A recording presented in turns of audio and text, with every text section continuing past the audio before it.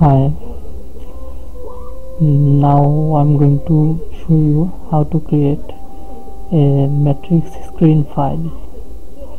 It is actually a bat file. Uh, we can create this through simply text file and few codes. এখন আমি আপনাদের দেখাবো কিভাবে আপনারা ম্যাট্রিক্সের মতো একটি ফাইল বানাতে পারবেন, যেটা আপনাদের স্ক্রিনে শো করবে।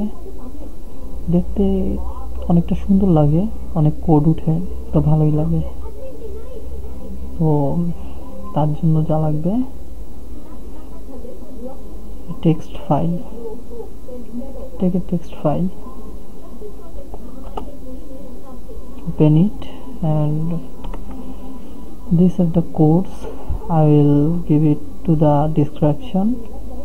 You can check my description now.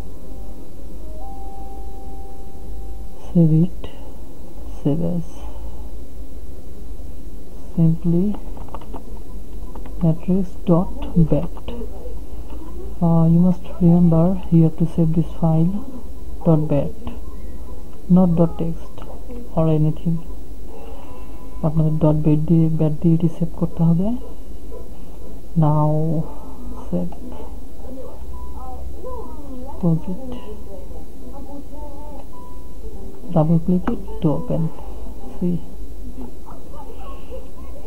this is matrix tree